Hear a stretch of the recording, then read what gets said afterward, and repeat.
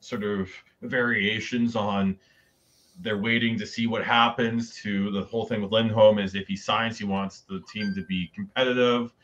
Um, if the Flames are making move, if the Flames, either way, I think the Flames are going to be very busy between now and July 1st because regardless of whether or not you've got time until like potentially even as far down the road as the deadline uh, next year in 2024 um, the Flames need to learn from the uh, they need to learn from the Gaudreau situation and not get stuck there. Because if they get if they go into the season and they're they're at least competitive or competing for a playoff, but maybe it's just even just of a wild card, are they really going to sell?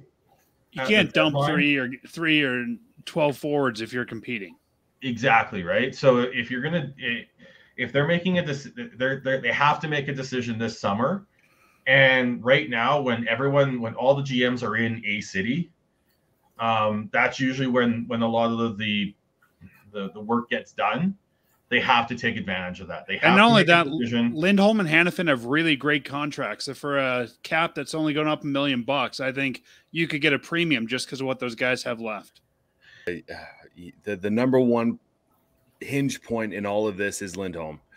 Uh, as far as the direction of the Flames go, as far as I'm concerned, um, Hanifin, I, it feels like yeah that that was that was a, uh, the topic of conversation even before the the potential of Backlund and Lindholm going and to Toffoli potentially going. Uh, you know, it, it's it's very interesting to to to be a Flames fan right now because you're you're wondering what the direction of the of, of the franchise is going, and if I, have had I've had a long time to really think about it, and the, the more that I think about it, it's I think it's time to to take a step back and and uh, sell these players for the future uh, as far as uh, the, the trajectory of the, the potential building uh, that isn't official yet, but we're hoping it's going to be official soon.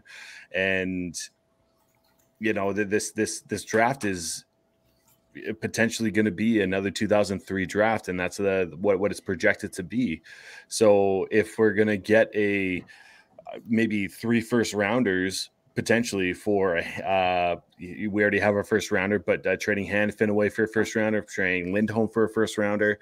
Uh, I, I think it, it, if I am Craig Conroy, I, I got to take a step back and be okay. Well, are my three top guys that aren't going to be here next year, or four top guys that aren't going to be here potentially next year, uh, don't want to sign?